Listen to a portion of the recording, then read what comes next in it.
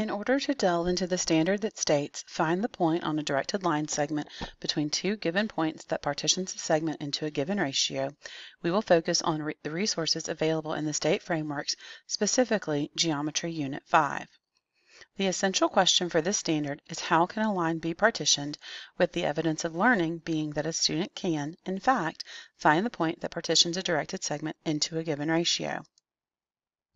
Within the frameworks, you will see the formula for this standard expressed two ways.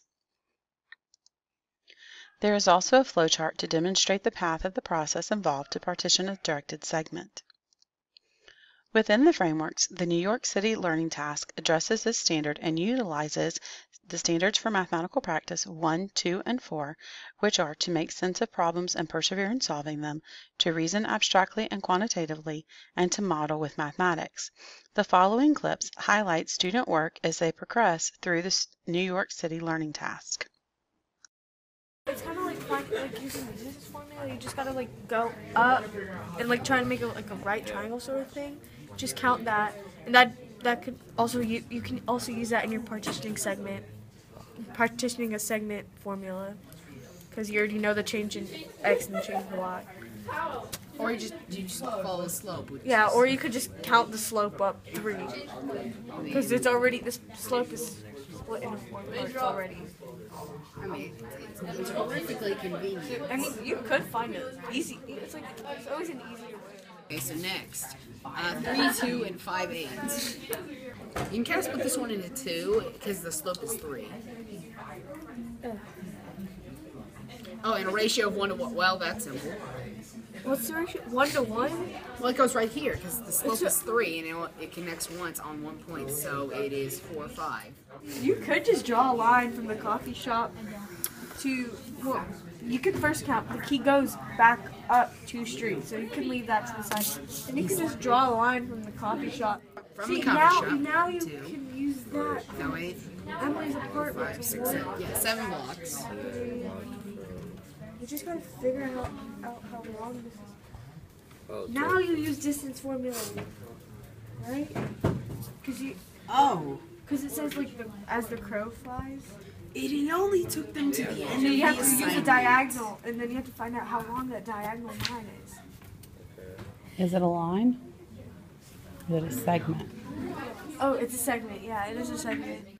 After completing the New York City Learning Task, two students apply what they learned in a problem partitioning a directed line segment.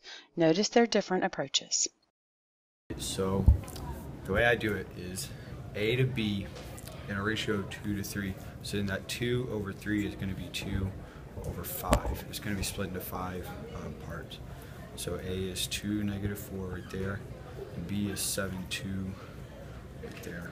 And so the way I do it is A, or the X's are 5. So 2 to 7 is 5.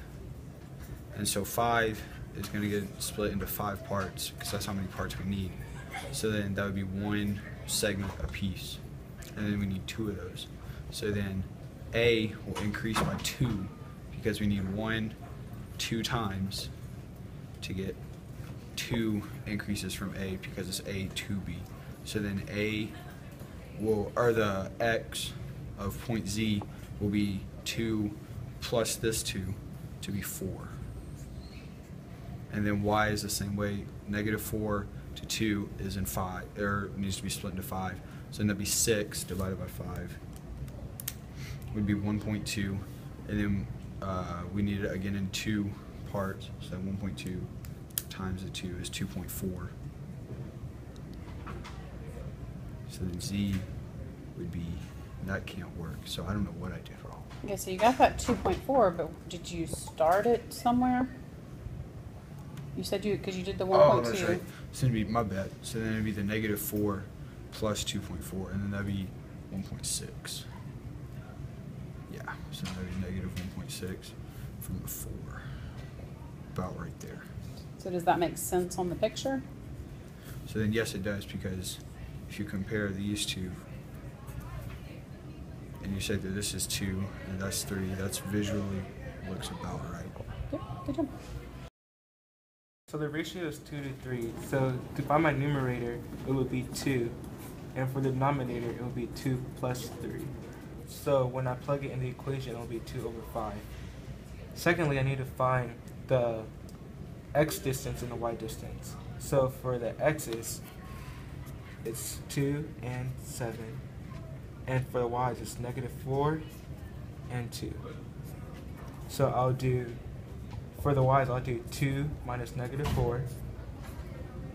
And the um, negatives cancel out and it becomes 6. Then for the x's, I do 7 minus 2. And that brings me to 5. So now, what to find my point, I have to start off with the first point, which is a, 2, negative 4. So I'll go with 2 plus the fraction times my value, which is my distance. So for x's, it's 5. And when I do that, I get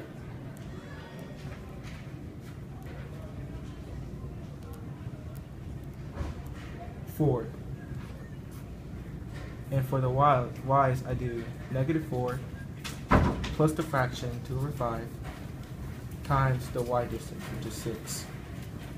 When I plug that in, I get negative 1.6. So for point Z, it's going to be 4, negative 1.6. The two previous examples highlight a key idea for teachers. It is important to allow students to make sense of partitioning for themselves and to allow them to determine their best approach on an individual basis. The student who is more visual can see that this segment needs to be broken into five equal pieces. So one, two, three, four, five, and then has that way to say, well, I need two of those pieces. And they can look at that and see those relationships. They don't necessarily need a specific formula. Other students, even after they've developed a conceptual understanding of partitioning a segment, feel more comfortable relying on the formula, and that is a completely valid way for them to approach those problems.